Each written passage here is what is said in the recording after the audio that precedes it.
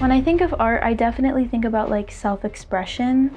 It's about, you know, how you feel. It's about the deep emotions inside of you and how to bring that out into the world to make people feel less alone if they're feeling the same thing. I think I've been painting my entire life for real. Like even when I was very little, I would, you know, smear paint all over big pieces of paper and my mom would have to wash me off in the bathtub covered in paint. So I think it's really important to nurture children's artistic talent when they're young.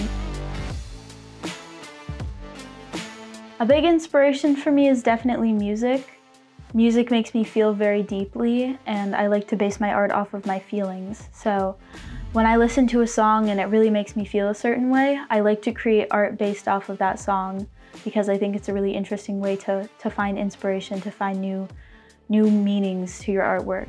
As an artist, I think what gets me up in the morning is the ability to start a new day and to create more and more and just constantly be spreading a message of self-acceptance to other people. There's no good and bad art. It's all about perspective and the way you look at things. Like if you if you can't draw realistically, call it abstract.